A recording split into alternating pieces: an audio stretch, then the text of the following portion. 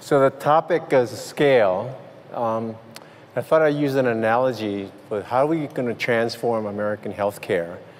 Uh, first of all, I want to give a shout out first to Gary Slutkin, former resident, co-resident of mine, and Arkell Georgia, a former colleague of mine. It's just like old home week. But um, I thought I'd use the analogy with David, Michelangelo's David, one of the great masterpieces in Western art, and to get a mindset or a picture for you of what American healthcare could be. Certainly not what it is now, um, but uh, in terms of the, the science, the technology, the resources we have available, to see if we could build together a, transform, a transformed American healthcare system that would be truly a masterpiece. So when you think about this, there's a, a, little bit of analogy stretch, but you think about David and you think about the, the, the, the sculpture that it is, and you think of the American healthcare system and the block of marble that represents the totality of the American healthcare system, and you realize that the waste or the discarded uh, piece of marble accounts for about a third of the two and a half, $2.7 trillion spent every year on healthcare.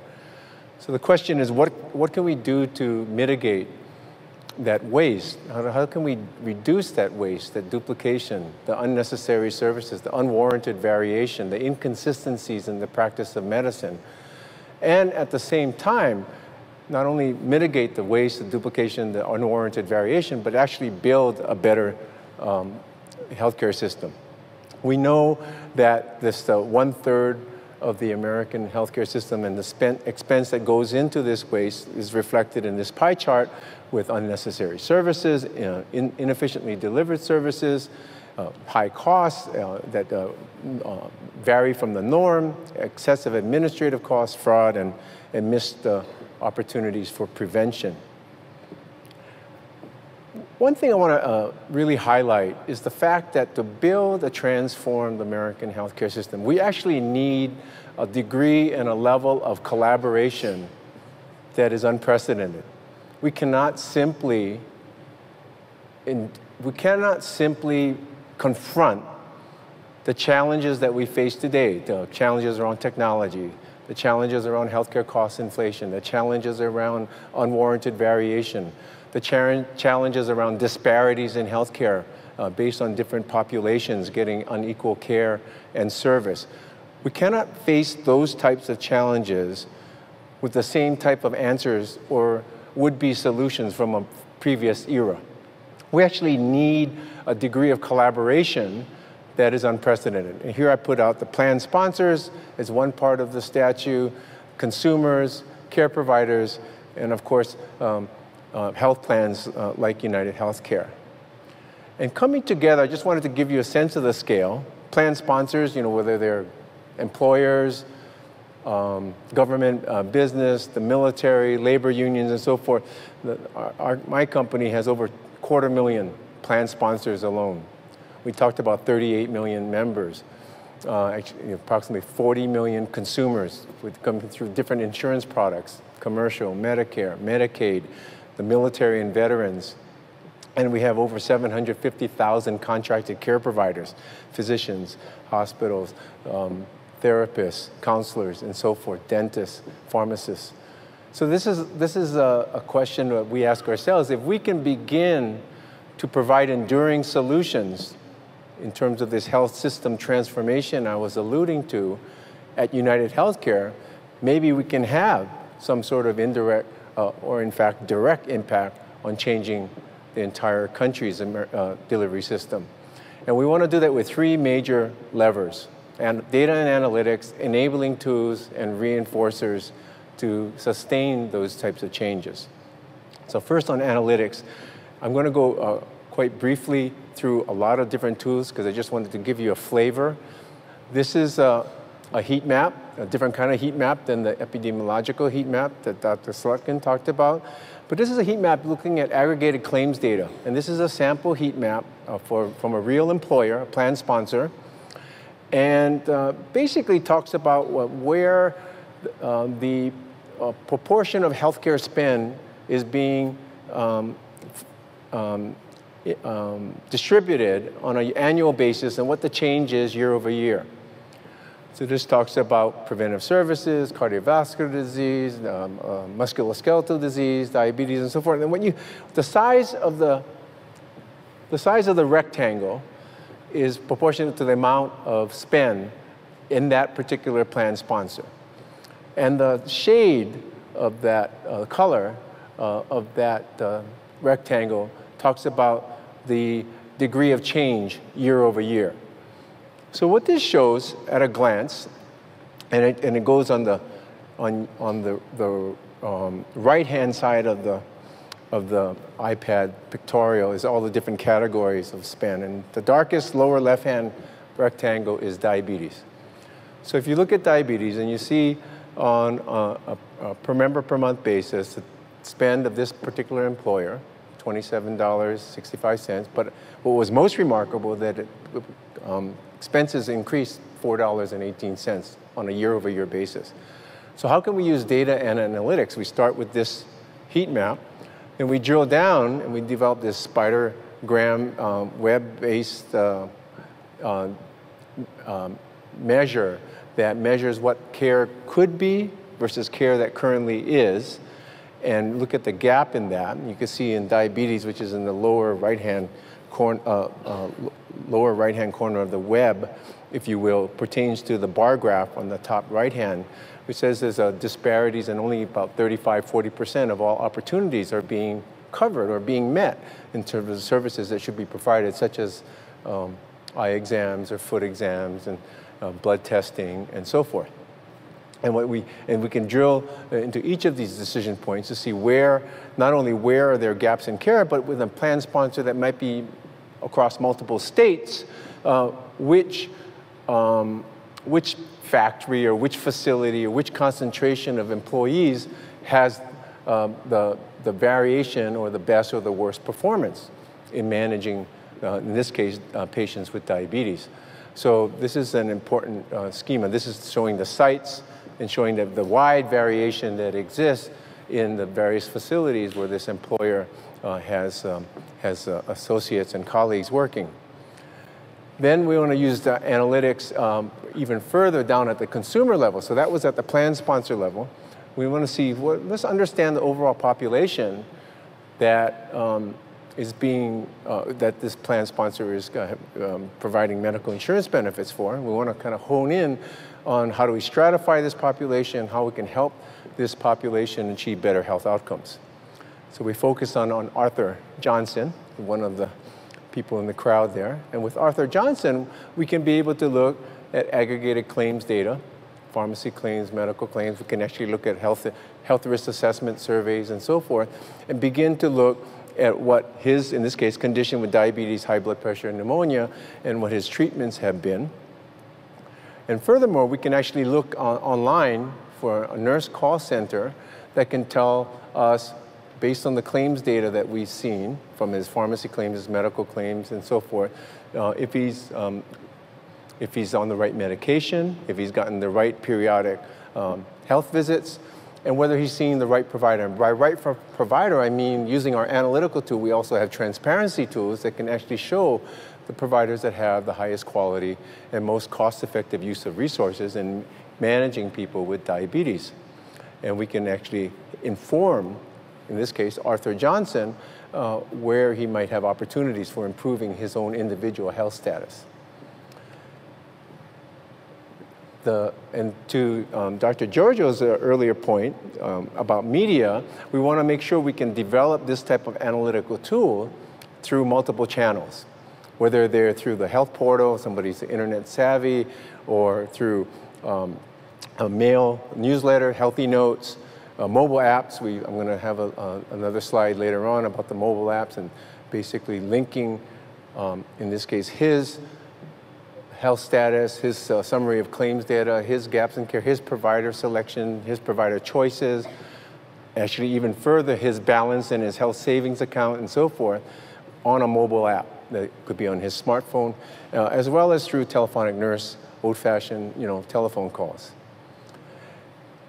I'm doing a little pause and re, uh, reset because one of the things I really want to I like about the analytics section that I'm speaking on is a collaboration that we just entered. We're very excited about with Mayo Clinic.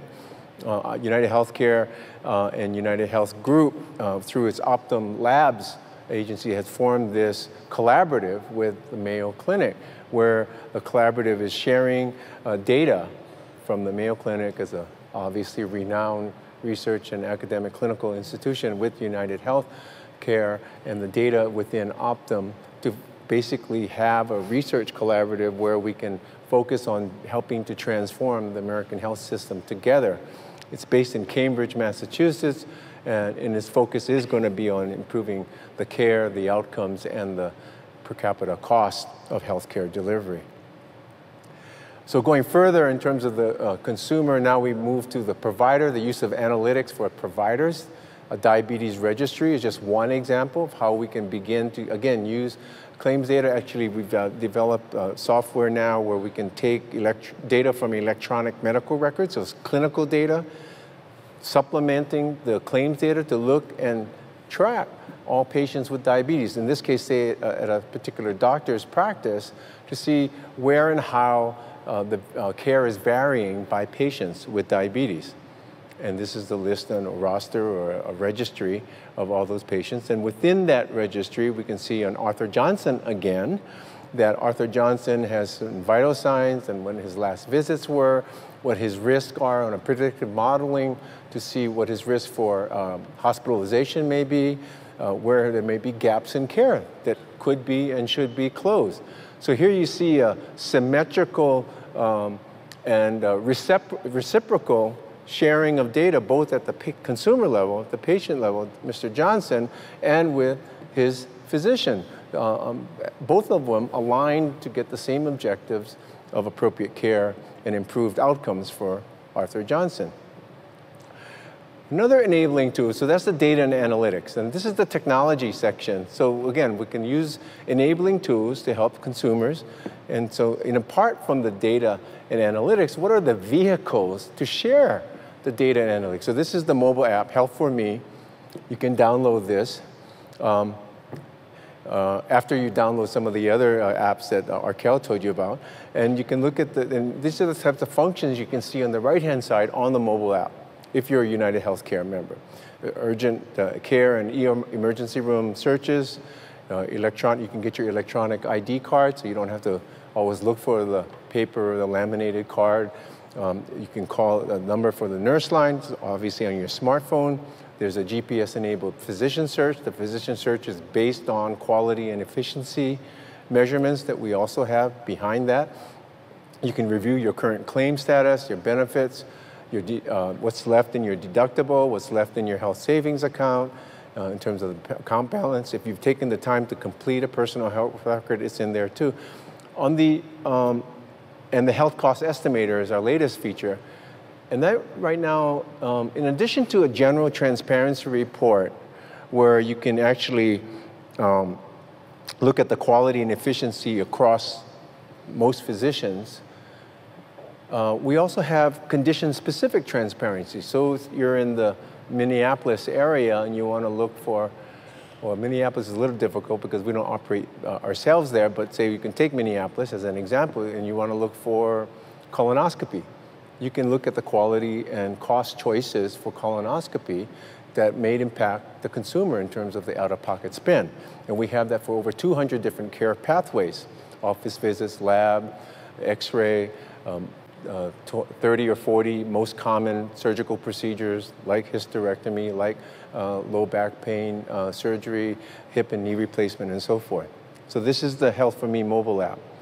We also have a similar tool uh, for physicians that basically gives them an idea of uh, looking at their practice patterns, where there might be gaps in care for patients with different conditions, including diabetes, but not limited to diabetes, and to say how they compare with other similar clinics with the same population or in the same geographic area. And that's the one thing that physicians, even the, the most data-driven, the most um, uh, evidence-based physician doesn't have. They don't have comparative data with how they might rank with others in terms of quality, uh, service, or cost efficiency.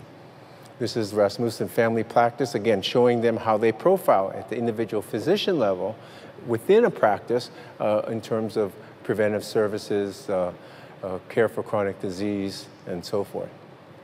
Then finally, the last enabler is about incentives, and we're strong believers in incentives. It's not the only tool, but it's one of the tools, along with information, uh, along with uh, uh, guidelines and programs, to basically begin to incent providers and consumers on achieving healthier um, outcomes.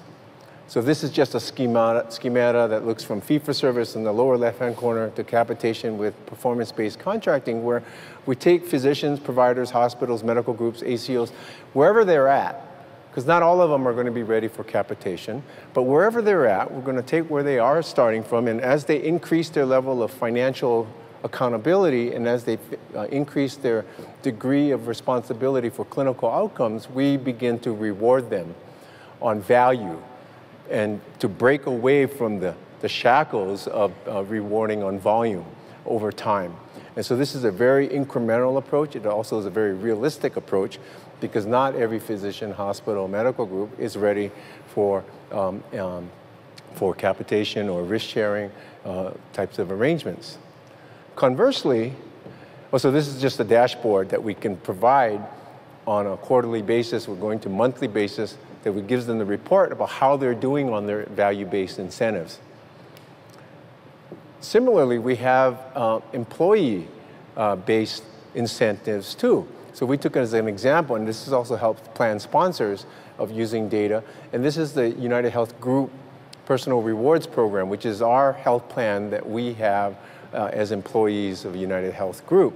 And this is basically uh, a program where we are incented, each of us myself included, are incented uh, by um, having discounts on our premium that we pay every year if we can establish success in either managing uh, or, controlling four major critical uh, health uh, intermediate outcomes, the body mass index, the blood pressure control, cholesterol control, and blood sugar.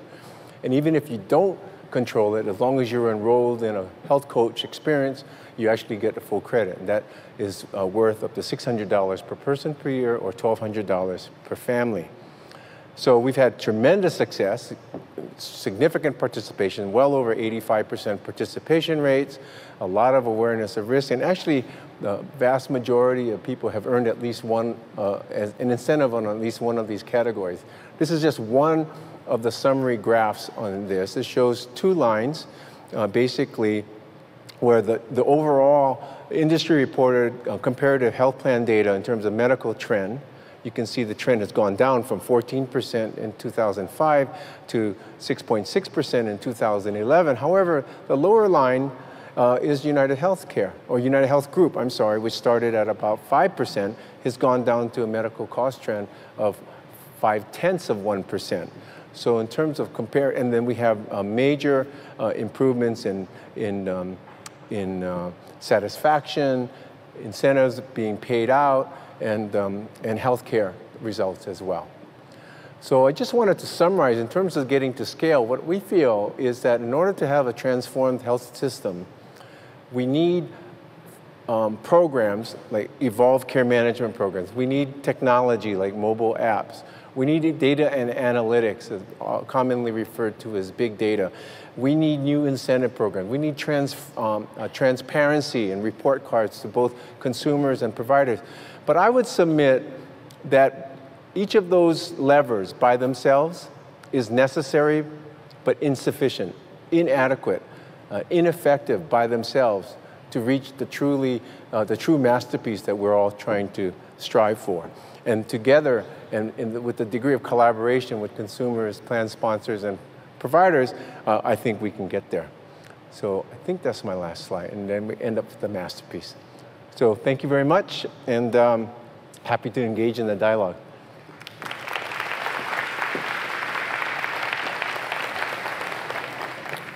So um, I hope you don't mind um, I want to ask you some tough questions, not interrogation style, but I think, you know, in many ways we are so fortunate to have you here because a lot of the big ideas that sort of kick around in your head at a conference like this, you often say to yourself, well, the person to really ask that question to is someone like you. Um, So let me just start with a couple of things. This will feel a little random, but, uh, but I, I, think you'll, you'll get where I'm going here. Let's talk first about a slide which uh, we saw yesterday, which described, and it was something that was reiterated by a couple of presenters today, that, that among the things people fear most in the whole healthcare experience is the cost. That, that they fear disease, they fear death and dying, they fear pain, they fear all kinds of things, but, but really the sort of decision point question often is determined by their fear of cost, which means that your business is right in the fear zone, right? I mean, the, the, when people think to themselves, wow, this is going to be way too expensive, their paralysis about acting comes right at the point where your business gets involved. How do you deal with that? How do you deal with the fact that, that you are predisposed to have a client base that is inclined to fear interactions, not necessarily with you personally, but with the, the, the, the, people who are at the front end of your business? How do you deal with that? I think that's a very fair question. I, I you know, I'll answer it in one way. So my background is a family physician at San Francisco General Hospital and in public health. Um, obviously, you come with a clinical perspective. Always, always come with an approach to say how you can improve the individual's health outcomes as, as well as the population's health outcomes. My, my approach is that up until probably five years ago, the fear of cost was probably latent. It was relatively suppressed um, for whatever reason. Um, you could say that plan sponsors covered 80 to 90% of the healthcare cost bill, whether it's a private employer or a government funded program, Medicare or Medicaid. You could say it was uh, maybe the fact that uh, um, healthcare costs as a percentage of GDP or percent, percentage of individual uh, wallet share was more manageable. Uh, you could say that the economy was a little stronger uh, than, it, uh, than it has been over the sure last fi five years, yeah. so that the discretionary income was a little bit more flexible. For whatever reason, um, the issues of costs uh, were relatively suppressed. And so what I say now is it's, uh, it's important to achieve all three of the so-called triple aims of better care, better health, and lower costs. That in fact it is imperative to sustain affordable health care and affordable health insurance, it's absolutely imperative to be responsible about costs, whether it's preventing uh, illnesses um, from reaching complications or, or, or um, uh, disease states before they get too costly, or doing more prevention related to wellness activities, or, or yes, in fact, being mindful of um, things like a generic substitution for pharmacy so that you can actually provide more affordable solutions than the fact that they're I, think we've seen it in the provider community as well, by the way. I think five years ago it was very difficult to talk about cost management without getting a lot of blowback from the provider community. And now providers, most of them are saying, yeah, we need to be more mindful. We need to be more, um, uh, we need to be better stewards of the shrinking healthcare dollar. So our point is to try to provide solutions around cost. I, that's a, a slightly macro answer, but from the consumer perspective, it's an acceptable answer, but from the consumer perspective, how do you reassure on an individual basis? What is the corporate message to the consumer which says something like, don't worry, we're going to get through this, or you're going to be able to afford this. I know what you've heard. We understand you come to the table with a lot of fear. Here are the yeah. tools for you to analyze whether you can actually afford this versus hanging up the phone and going and being diabetes non-compliant. Right, no, very good. So at the micro level, the individual patient level, first of all, what are their choices? Do they really need to go to the emergency room? Do they really need that MRI for a headache that's been there for a couple of hours?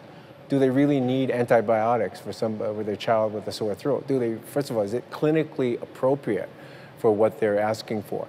Secondly, we can give them, as we tried to show with the transparency reports and the, uh, and the mobile apps and so forth, lower cost alternatives.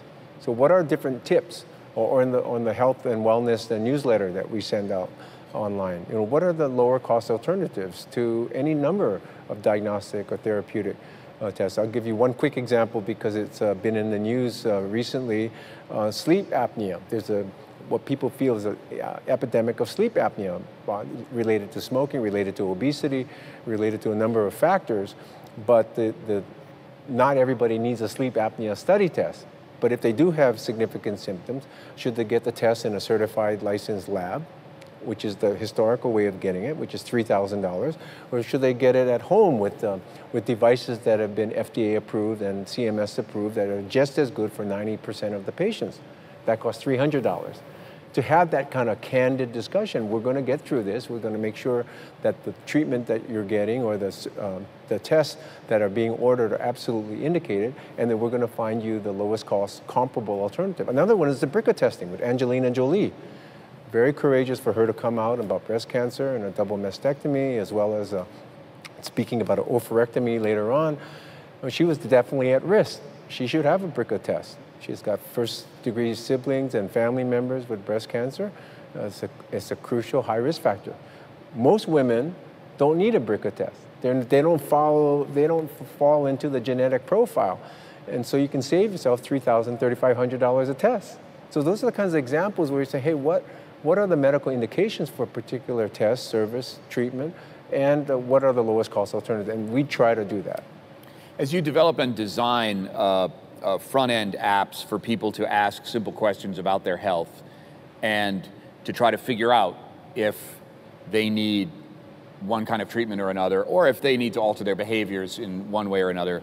Um, are you constrained in recruiting consumers to be more of a partner, both in terms of the design of their own healthcare, their awareness, information, and in paying for parts of it, which they're going to be doing? Um, because there's such a sense of mistrust out there. Oh, I see what you're trying to do here. You're trying to just palm all the cost off on me. Does that make it difficult for you to create real partnerships? I think it's a challenge. I think it's a, and that's one of the reasons, many reasons to collaborate with, with, for, with consumers. First of all, on all of our apps, all of our, we tons of market research. We have lots of consumer uh, advisory councils on that. Judy Hibbard's a speaker at this forum, which she's been a, a wonderful advisor. Um, I, would be um, unrealistic to say that it wasn't a constraint. On the other hand, collaborating with consumers, collaborating with providers, um, working with plan sponsors, working together to try and get the best outcome, both in terms of quality uh, and as well as cost, is absolutely critical. Um, two more questions. I talked at the very beginning of, of uh, today's session about creating communities that were hypochondriacs uh, not individuals, but communities that actually were really concerned and aware of each other's health and were exchanging lots and lots of information. Um, in, in a time of cost control, um, can we think of healthcare systems like United Healthcare Group as a company that enables people to ask questions about, hey, what's going on over here? And and I, I, saw my neighbor had something like this, and, and uh, can you answer this question for me? Or do the lawyers kind of shut this down? Do you want that kind of information flowing in? Do you want a community of hypochondriacs asking you lots and lots of questions and, and sharing that as a kind of a community experience, or does that terrify you? I have to take that under legal counsel. No, just kidding. Yeah. No, that was your. Yeah. You're not the one. Yeah. No, I, we welcome that. I think the biggest macro uh, point that I can make about United Healthcare, healthcare in general, is finally, it's, I think it's the last sector of society to be consumer driven. And healthcare has to be consumer driven. We have to kind of turn the hierarchy of decision making uh, upside down. And uh, so, yes, we would welcome that kind of community engagement, a community uh, of uh, consumer first, uh, to, to tailor our whole delivery system, the information that we share, the, the way we write the um, certificate of coverage, the way we answer phones, the way the access, 24 7 access, the, the ability to um, um, uh, tap into mobile apps. I think we just need to hmm. have more and more patient centered communities. Last question. Um, did you see the uh, Gary Slutkin presentation yeah. about uh, violence and violence interrupters? Yeah, it was great. Take me into a meeting at United Healthcare Group where you, Dr. Ho, pitch, I think we should reimburse for uh, Reverend Tim's services as a violence interrupter because I'm buying this infectious disease metaphor on violence in our communities. Could you have that meeting? Could you make that pitch? We could have that meeting. It'd be, it'd be very uh, challenging, uh, but I think the epidemiology, the kind of violence as a, as a contagious disease is a, is a wonderful discussion to have. We are actually um, working. But you probably would have to have the discussion without going contagious disease. You probably would could have to- that too. Yeah. We, we could have that. It would be hard hitting. Uh, we have uh, several pilots going on now where we would be, we, we are reimbursing peer coaches, lay coaches in uh, underserved communities to work uh, on a peer basis with patients with chronic diseases because the medical establishment has obviously been somewhat um, um, uh, lacking in its access and its understandability, its translation, and its effectiveness. Um, so the idea of having violence interrupters as another type of peer coach or lay coach to help them uh, achieve better outcomes would be certainly is something that right up our alley. Thank you so much. Thanks really appreciate your candor. Thank you. Terrific. Thanks a Thanks a lot.